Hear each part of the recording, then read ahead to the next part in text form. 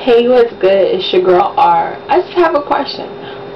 Since, if you didn't know, I am a huge hip hop fanatic, so I'm just curious as to what new music are you currently listening to? Whether it's a mixtape, um, shameless plug because you are an unsigned artist, um, an album that is highly anticipated. I know the Nicki Minaj album is slated to drop, I believe, in November.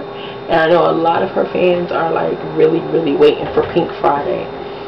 Um, which, unless it's coming out on a Friday, then the title kind of defeats the purpose. Anywho, um, but I'm just curious as to what new music are you listening to? What's in your iPod? What's on your Blackberry? What is um, booming through the speakers in your Jeep? What are you listening to? Just get at me. Peace.